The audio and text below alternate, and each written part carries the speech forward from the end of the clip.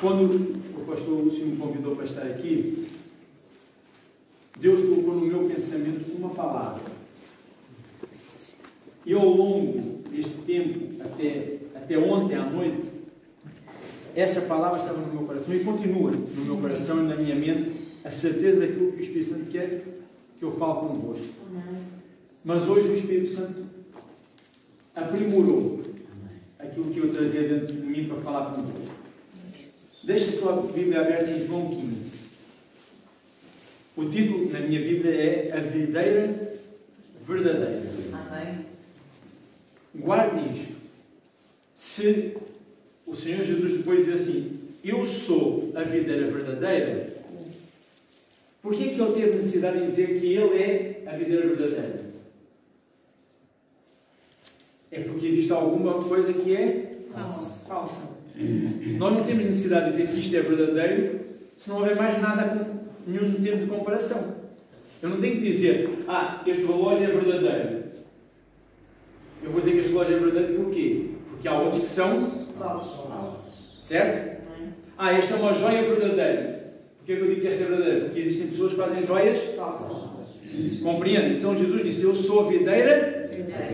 É porque há uma videira. Uma videira falsa. Muito bem. Então vamos ver isto na Bíblia. Por isso, se calhar vai ser novidade para vocês. Havia um homem na terra de Uz cujo nome era Jó. E ele era.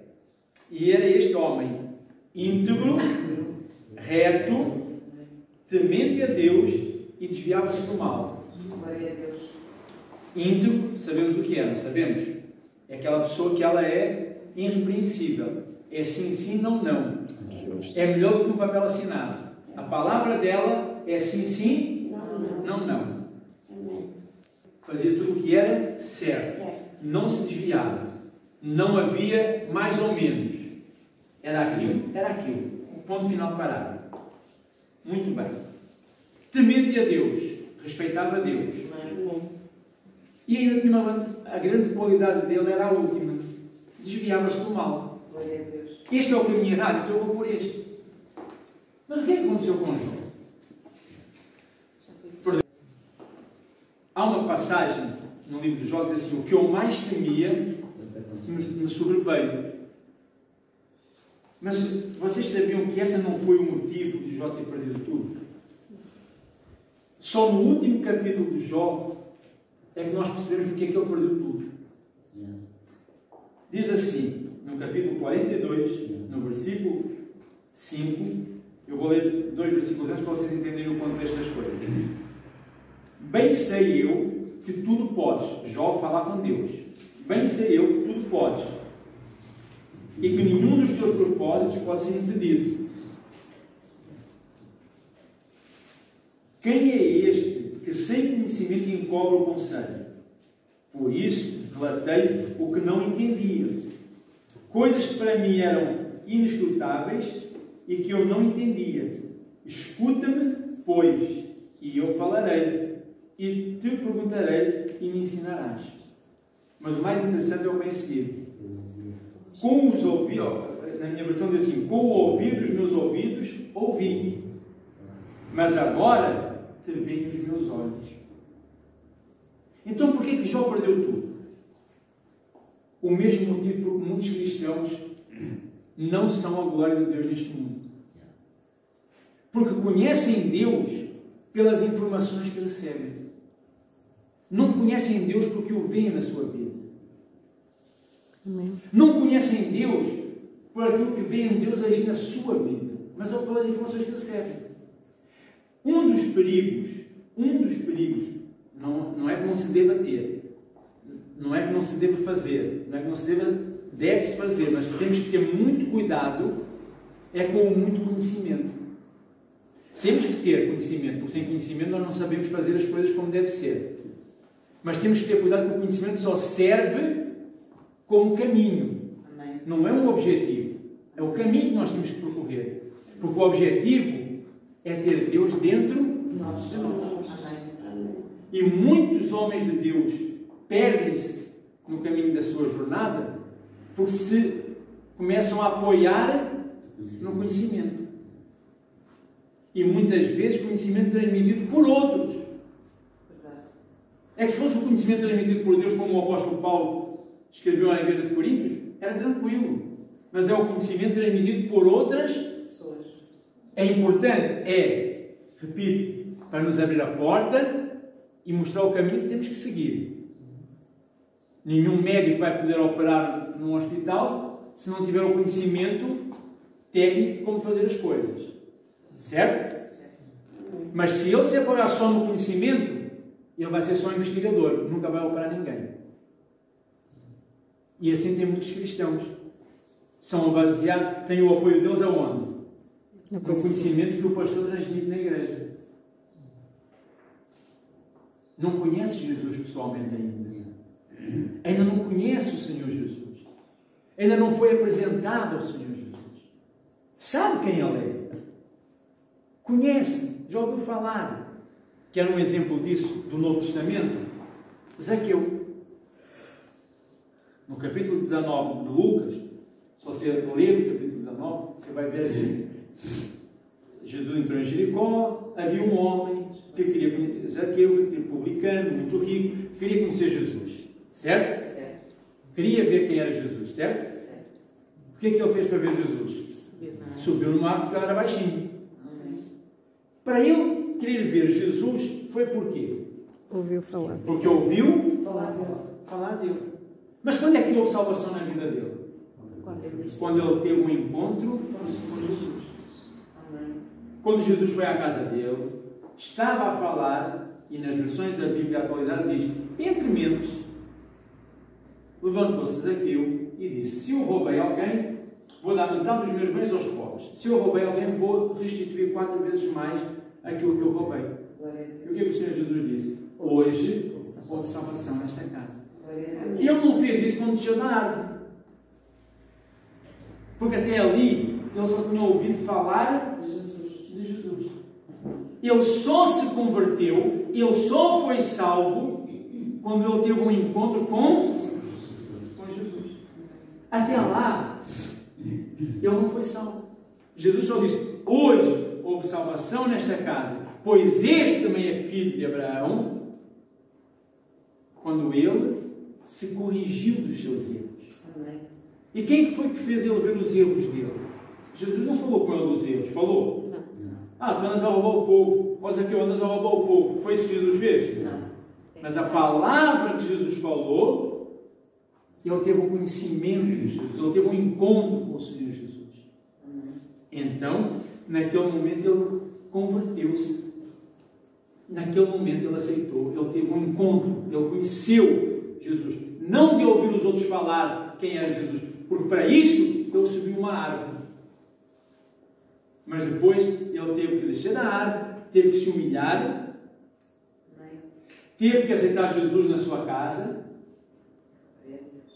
ouviu alguma coisa ali naquele meio caminho do, do tempo, a Bíblia não, não, não, nos relata isso, mas nós sabemos que às vezes as coisas são, eh, são mais sucintas, mas tem que haver ali uma conversa, ninguém se converte só na companhia de outro. Houve ali alguma palavra que caiu no coração dele e deu fruto. Por isso ele resolveu fazer aquilo e aquela, aquela decisão foi tão sincera que o Senhor Jesus conhece as mentes e os corações disse hoje houve salvação nesta casa. Certo? É o que dizem Romanos. Não nos podemos conformar com este século, mas temos que nos transformar a nossa mente com a renovação. Temos que transformar a mente. Porque se nós formos pela conversa deste mundo, nós vamos nos afundar juntamente com ele. Então veja, muito importante é nós sabermos como é que nós conhecemos Jesus. Sabe porquê que é uma rotina? Porque a pessoa só conhece Jesus de ouvir os outros falar. Por isso que às vezes a pessoa não tem vontade de vir à igreja ao domingo. Por isso que a pessoa não tem vontade de participar do grupo de oração. Por isso que a pessoa não tem vontade de vir ao estudo bíblico. Porquê? Porque eu pergunto para vocês, se nós tivermos que arranjar um tempo para uma coisa, nós não arranjamos. Sim. Para que é que nós arranjamos um tempo? Para aquilo que nós queremos. Basta nós querermos. Se algum amigo chegar, se um parente chegar à nossa casa, de repente, olha, vou dar um exemplo. Sábado passado não estava à espera de receber visitas em casa. Pensando assim, bom, tivemos uma noite complicada, porque tivemos um primo nosso hospital, viemos tarde, eram duas da manhã quando chegamos a casa, passamos um dia mais, um dia sábado mais tranquilo, e eu pensei, bom, agora, sábado à noite, a gente vai para a cama mais cedo, tranquilo. Às seis da tarde ligaram-me, olha, eu vou passar aí para ver o fulano que esteve no hospital, para ver como é que ele está. Eu falei assim, ok, está bem. Não tínhamos nada preparado para, jantar, para toda a gente jantar. Tivemos que improvisar. Então, quando nós queremos, nós fazemos. Então, se eu conheço Jesus, o que é que me impede de vir à casa de Deus? Espera aí, eu tenho trabalho, mas eu posso voltar ao trabalho? Eu posso antecipar o meu horário? Eu posso puxar duas horas para cima para sair duas horas mais cedo, para, ou puxar meia hora para cima para sair meia hora mais cedo para poder ir à igreja hoje? Posso, então eu vou fazer isso. Ah, domingo, eu estou cansado, estou. Eu levanto todos os dias às 5 e meia da manhã. Todos os dias, de segunda a sexta. Sábado, sete e meia da manhã estou a pé. Domingo, seis da manhã estou a pé. Não importa. Porque assim eu vou buscar o meu Deus. Ele é a minha prioridade. Glória a Deus. Se eu tiver que deixar alguma coisa para trás, eu deixo. Mas ele é a minha prioridade. Agora eu pergunto, como é que é a sua prioridade? Quem é que está em primeiro lugar? Entende o que eu quero dizer? E nós temos que ter o cuidado de hoje, enquanto aqui estivermos, enquanto houver o fogo da vida em nós, saber o que, em, que, em que lado da balança nós estamos. Se estamos à direita do Senhor Jesus se estamos à esquerda do Senhor Jesus. Se estivermos à direita, ótimo, maravilha, luto para manter-se lá. Porque você vai ouvir, vinde a mim, benditos do meu Pai. Mas se por algum motivo nós estivermos à esquerda, cuidado. Apartai-vos de mim que eu não vos conheço. É o que, nós, é o que a pessoa poderá ouvir. Como é que eu sei de que lado é que eu estou? A gente que têm medo de morrer. É normal, não conhecem. Mas quem é cristão, ou por outra, peço desculpa, quem se diz cristão, dizer que tem medo de morrer, significa que a pessoa ainda não tem Cristo dentro dela. Imagine uma coisa, nós vimos há pouco tempo um acidente na Turquia, um terremoto na Turquia.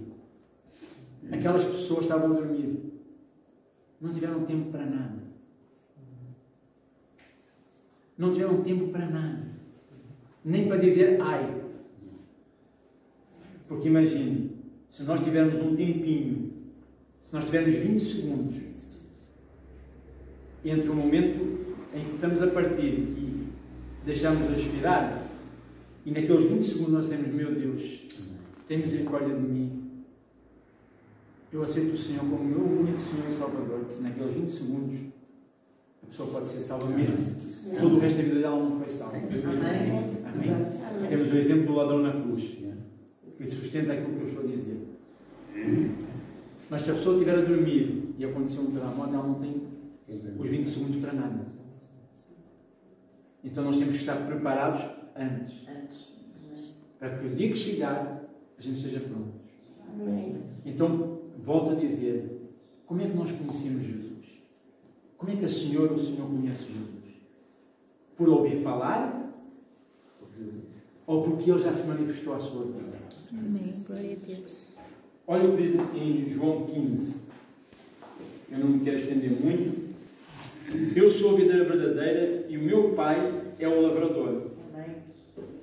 Toda a vara, ou seja, todo o ramo em mim que não dá fruto, atira, tira o ramo, limpa e todo aquilo que dá fruto para que dê mais fruto ainda.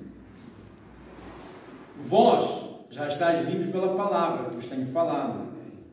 Está em mim e eu em vós, como a vara de si mesmo não pode dar fruto se não estiver na videira. Assim também vós, se não estiverdes em mim. Vamos parar aqui neste quarto versículo. Até agora nós vemos aqui uma incidência num verbo. Vemos uma incidência num verbo, que é o verbo estar. Todo aquele, diz assim, toda a vara em mim que não dá fruto, depois vamos para o outro. Vós que estáis em mim, estar em Jesus, estarem em mim. Repara, reparem numa coisa, aqui não diz que esteve em mim. Estar. Oh, estar. Para Deus não conta o estar, o fui, o fiz, o deixei de fazer. Conta o faço, o estou. Ou estarei, ou farei. Porque nós só podemos mudar o futuro. Nós não podemos mudar o passado. O passado já, já acabou. Mas o mais importante aqui é isto. Quem é que são aqueles que estão, que já conheceram Jesus de facto? Aqueles que tiveram um encontro com Jesus, aqueles que conhecem Jesus não de ouvir falar, mas conhecem Jesus dele se manifestar na sua vida. É aqueles que estão na videira. Veja, um ramo na videira, limpo, vivo, ele dá fruto. Ele agora já era um ramo que estava na videira verdadeira. Amém. Ele agora já era um ramo que estava ligado à videira, Verdadeiro. já era um ramo que dava fruto de uma forma natural. Porque ele já conhecia. Amém? Amém? Amém. E nós? Estamos ligados que videira? À videira verdadeira que é o Senhor Jesus? Ou à videira falsa? Não, mas está amarrado, não estou, não, estou, não estou ligado ao diabo. Não, mas quem falou que era o diabo? A videira falsa.